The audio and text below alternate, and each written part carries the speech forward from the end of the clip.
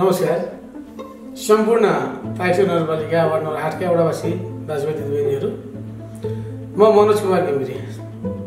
यसपालि पनि तपाईँहरू समक्ष नेकपा एमाले मार्फत चुनावमा अध्यक्षको लागि सहभागी भएको छु। यहाँहरूले विगत वर्षहरूदेखि नै जुन ममाथि विश्वास गर्नुभएको छ जुन ममाथि एउटा जिम्मेवारी थप्नुभएको थियो। त्यो जिम्मेवारी वहन गर्ने क्रममा आज म यहाँहरू समक्ष पुरो भएको छु। आगामी पाँच वर्षको लागि समेत म लगायत मेरो वडाको टिम यहाँहरू समक्ष चुनावी प्रतिस्पर्धामा भोट माग्नको लागि आएका छौँ। यहाँहरूको सक्रिय सहयोगको हामीले अपेक्षा गरेका छौँ। विगत पाँच वर्षमा हामीले गरेका विभिन्न कामहरू यहाँहरू समक्ष छँदै नै छ यहाँहरूले हेरिरहनु भएको छ। र कोभिड लगायतका विविध कारणहरूले गर्दा केही कामहरू अझ गर्नु बाँकी छ। कामहरू सम्पन्न भइसकेका छैनन्। यसपटकको हाम्रो उम्मेदवारी भनेको ती अपुरा कामहरूलाई सम्पन्न गर्ने र नयाँ कामहरू सिर्जना गर्ने। जुन कामले गर्दा हाम्रा वडावासी दाजुभाइ दिदीबहिनीहरूले समाजमा आफ्नो वर्चस्व आफ्नो राम्रो पक्ष र आफ्नो समृद्धशील वडा बनाउने हाम्रो चाहना यहाँहरूले देख्नुहुनेछ अहिलेको कन्टेस्टमा यो पाँच वर्षभित्र हामीले गर्नुपर्ने विभिन्न कामहरूको प्रतिबद्धता पत्र यहाँहरू समक्ष तुरन्त नै आउनेवाला छ। त्योभन्दा अगाडि म यहाँहरूलाई हाम्रो प्रतिबद्धता पत्रमा के छ भन्ने कुरा हिन्सको रूपमा थोरै दिन चाहन्छु। हाम्रो अबको पाँच वर्षको कार्यकाल भनेको बाटोका कामहरू लगभग हामीले नाइन्टी पर्सेन्ट सिद्ध्याएको अवस्था यहाँहरूलाई पहिले जानकारी भइसकेको छ। भने खानेपानीका पाइपलाइनहरू विस्तार पनि हामी गरिसकेका छौँ। अब खानेपानीका मुहानहरू संरक्षण गर्दै सुधार गर्दै खानेपानीको व्यवस्थापनमा हामी अग्रसर हुनेछौँ। पहिलो एजेन्डा हाम्रो यो हुनेछ। जसको लागि आवश्यकता अनुसार डिप बोरिङहरू ठाउँ ठाउँमा गरिनेछ र खानेपानीको समस्या समाधान गरिनेछ। दोस्रो भनेको सामाजिक न्यायका कुराहरू रहनेछन्। जसमा महिला दलित जनजाति पिछडिएका वर्गहरूले आफ्नो जीवनलाई कसरी सहज बनाउन सकिन्छ कसरी आर्थिक उपार्जन गर्ने किसिमको व्यवस्थापन गर्न सकिन्छ भन्ने हाम्रो एजेन्डा रहेको छ।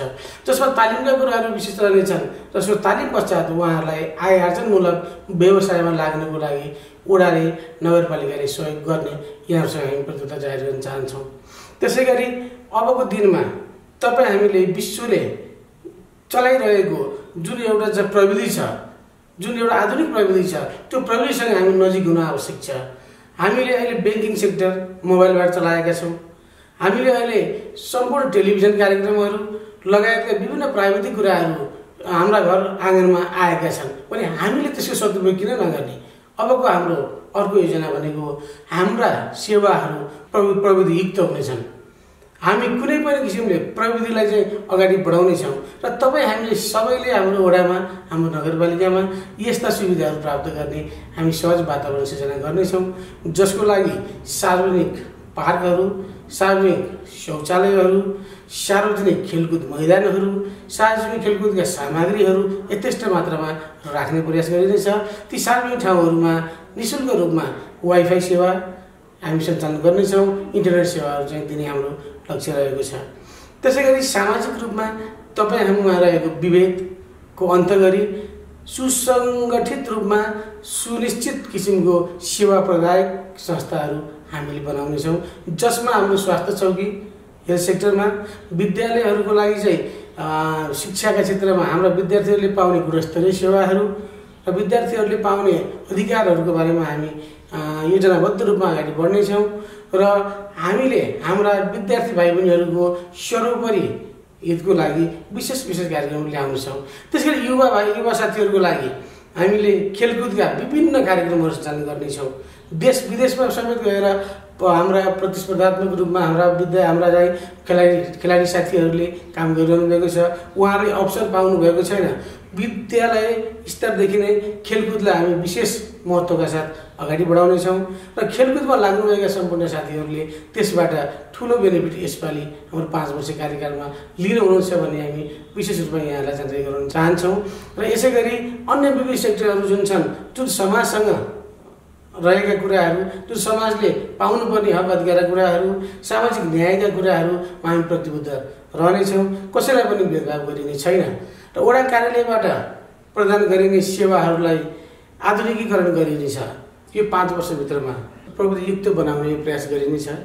जसमा हाम्रा वडावासी दाजुभाइ दिदीबहिनीहरू पनि प्रविधियुक्त हुनुहुन्छ र प्रविधिमा उहाँहरूको विशेष जाँगेर रुचि रहेको अवस्थामा उहाँहरूले अनलाइनबाट नै आवश्यक फर्महरू भर्ने अनलाइनबाट नै आफ्नो डकुमेन्ट्सहरू पठाइदिने ती डकुमेन्टहरूको आधारमा हामीले तयार गरेका यहाँहरूका सेवा सम्बन्धी कुराहरूलाई सकेसम्म घर दैलोमै पुर्याउने किसिमको व्यवस्था मिलाउनलाई हामीले प्रयास गर्नेछौँ। यसको लागि यहाँहरू पनि प्रविधियुक्त हुनु र प्रविधिसँग नजिक हुनु चाहिँ आवश्यक रहन्छ। यो प्रयास हाम्रो जारी रहनेछ। हामीले ओडासँग सम्बन्धित सम्पूर्ण व्यावसायिक साथीहरूलाई व्यवसाय सुसञ्चालन गर्नको लागि आवश्यक सहयोग हामीले गर्नेछौँ।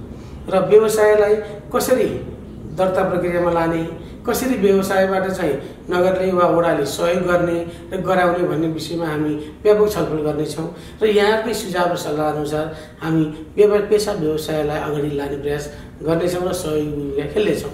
त्यसै गरी यस वडा अन्तर्गत हाम्रो यो पाँच वर्षको दौरानमा के के काम गर्ने हो कस्ता योजनाहरू ल्याउने हो नयाँ कामहरू के के रहन सक्छन् भन्ने यसको लागि हामीले एउटा चाहिँ समूह गठन गर्नेछौँ समूह बनाउँछौँ। जुन समूहलाई हामी बौद्धिक समूह भनेर बनाइनेछ। र त्यो बौद्धिक समूहको चाहिँ परामर्शमा छलफलमा सल्लाहमा वडा समितिले निर्णय गर्दै कामहरू गर्नेछ। र अर्को कुरो भनेको हामीले गर्ने हरेक क्रियाकलापहरू पारदर्शी रहनेछन्। आर्थिक पारदर्शिता हाम्रो मुख्य ध्येय हुनेछ। र यहाँहरूसँग दोहोरो कर प्रणालीबाट यहाँहरूलाई पर्नु गएको घर जग्गा कर सम्बन्धी समस्याहरू छन् भने त्यसलाई नगर कार्यपालिकाबाट नगरपालिकामा अनुरोध गरेर ठोस नीति बनाउनको लागि हामी आह्वान गर्नेछौँ नगरपालिकालाई आग्रह गर्नेछौँ र त्यसतर्फ पनि हाम्रो ध्यान जानेछ। त्यसै गरी हामीले विभिन्न राजनीतिक दल विभिन्न सङ्घ संस्था लगायतका साथीहरूको अर्धवार्षिक रूपमा भेला गराई हाम्रा कार्यक्रमहरू हामीले गरेका आम्दानीहरू र कुन कुन शीर्षकमा कति कति केही खर्च भइसके भएका छन् त्यो पनि सामाजिक परीक्षण हामी गर्नेछौँ। त्यसै गरी हामीले अहिले राजनीतिक दलका रूपमा रहनुभएका हाम्रा प्रत्याशी साथीहरू स्वतन्त्र साथीहरू जस जसले आफ्ना घोषणा पत्र मार्फत वा उहाँहरूको योजना मार्फत राम्रा र नयाँ कार्यक्रमहरू ल्याउनु भएको छ भने त्यसलाई पनि समेट्दै वडावासीहरूको हितको लागि वडाको समृद्धिको लागि ती कार्यक्रमहरू पनि वडा समितिले अगाडि बढाउने यहाँहरूले म जानकारी गराउन चाहन्छु र त्यस्ता कार्यक्रमहरू क्रमशः लागू गर्दै लगिनेछ एउटा समृद्ध वडा बनाउने यहाँहरू सबैको सहयोगको हामीले अपेक्षा गरेका छौँ। अहिलेको विकराल अवस्था भनेको वातावरणको प्रदूषण। तारकेश्वर नगरपालिका पालिकाहरूले हामी देखेका छौँ। त्यसमध्येमा पनि सहरीकरण भएको हाम्रा जस्ता आठ वडाहरूमा यसको अवस्था अलि नाजुक छ। यसको दीर्घकालीन समाधानको लागि विशेष योजना बनाइ लागू गरिनेछ जसमा यहाँहरू सबै जो वडावासी दाजुभाइ दिदीबहिनीहरू हुन्छ र जो सरसफाइ कार्यमा लागिरहनु भएका एजेन्सीहरू यसका चाहिँ सङ्घ संस्थाहरू हुन्छ उहाँहरूसँगको सहकार्यमा हामी वडालाई प्रदूषण मुक्त बनाउने प्रयास गर्नेछौँ र विशेष योजनाका सहित हामी अगाडि बढ्नेछौँ र यहाँहरूले केही वर्षमै एक दुई वर्षमै देख्नुहुनेछ अब तारकेश्वर नगरपालिका आठ नम्बर वडा अन्य वडाको दाँजोमा समृद्ध सबल स्वच्छ हराभरा र चाहिँ एउटा फोहोर मैला रहित वडा बन्नेछ भन्ने यहाँहरूलाई हामी जानकारी गराउन चाहन्छौँ। त्यो किसिमको वातावरण हामी सिर्जना गर्दै जानेछौँ। हाम्रो वडामा रहेका विभिन्न सांस्कृतिक धरोहरहरू परम्पराहरू विभिन्न जनजाति जाति जाति विशेषको चाडपर्वहरूलाई हामी समान रूपमा महत्त्व दिनेछौँ मठ मन्दिर मस्जिद गिर्जा गिर्जाघर गुम्बा लगायतकालाई विशेष संरक्षण सूचीमा राखिनेछ। र हामीले विकास निर्माण गर्दै गर्दाखेरि हुने विभिन्न समस्याहरू भएका छौँ। खानेपानीले बाटो खान्छ सडक विभागले बाटो खान्छ दूरसञ्चारले बाटो खान्छ प्राधिकरणले बाटो खान्छ अनि हामी बाटो ढलान गर्छौँ दुई महिना पछाडि फेरि बाटोको हालत त्यस्तै हुन्छ। त्यसमा चाहिँ एउटा समन्वयकारी भूमिका खेल्न नसकेर जस्तो हामीलाई लाग्छ। यसपालि हाम्रो योजना भनेको विभिन्न लाइन संस्थाहरू जुन छन् खानेपानी प्राधिकरण विद्युत लगायतका एजेन्सीहरूसँग हामी समन्वय गर्नेछौँ र हाम्रो प्राथमिकताको आधारमा सम्पूर्ण कामहरू सिद्धिसकेपछि मात्र बाटोको कामहरू गर्नेछौँ। त्यो गरिरहँदाखेरि हाम्रो बाटो हाम्रो योजना दीर्घकालीन हुन्छ। यसको लागि समन्वयकारी भूमिका ओडाले खेल्नेछ। अब यहाँहरूलाई म आज एउटा के घोषणा गर्न चाहन्छु भने जति पनि तारकेश्वर नगरपालिकाबाट पाउने मेरो सुविधा सेवा सुविधाहरू जे जति छ त्यसको कम्तीमा पनि पचास प्रतिशत रकम म विभिन्न सामाजिक सेवा कार्यहरूमा लगाउनेछु। गरिब असहाय दिन दुखीहरूको लागि ती रकमहरू प्रयोग गर्नेछु र यदि सो पैसा मध्ये केही पैसा बच्यो भने त्यसलाई म एउटा अक्षय कोष बनाएर गरिब जीवनदार विद्यार्थीहरूको लागि पढाइको लागि खर्च गर्नेछु भन्ने पनि यहाँहरूसँग प्रतिबद्धता जाहेर गर्न चाहन्छु। र यहाँहरूले देखिसक्नु भएको छ पाँच वर्षमा मैले गरेको मेरो टिमले गरेको काम। त्यसैको आधारमा पनि यहाँहरूसँग के विनम्र अवगत गर्न चाहन्छौँ भने अबको दिनमा यहाँहरूको सक्रिय सहयोग र समृद्ध हाम्रो वडा निर्माणको लागि यहाँहरूको सक्रिय सहयोगको म अपेक्षा गर्दछु। यहाँहरूसँग विनम्र अनुरोध गर्दछु।